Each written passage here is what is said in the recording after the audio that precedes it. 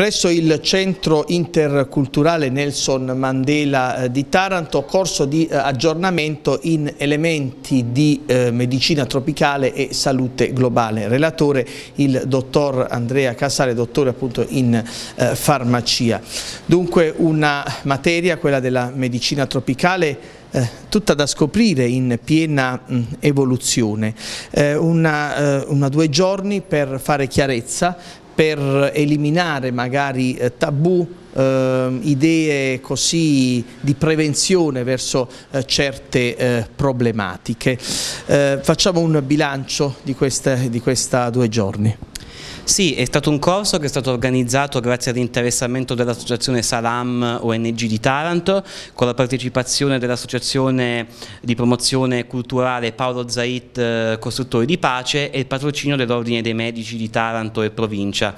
La medicina tropicale è una disciplina che eh, studia appunto quelle che sono le patologie, le problematiche di tipo sanitario che si presentano in modo univoco o comunque maggiore nei paesi tropicali ma che per effetto della globalizzazione comunicazione stiamo comunque cominciando a vedere anche un po' da, dalle nostre parti, motivo per cui il corso si intitola Medicina tropicale e salute globale. Abbiamo visto quindi quali sono le patologie che possono essere effettivamente portate dai migranti, ma abbiamo anche un po' ecco, demistificato quelli che sono... Scongiurare magari certe prevenzioni, dicevo che ci sono idee di un po' eh, magari non al passo coi tempi.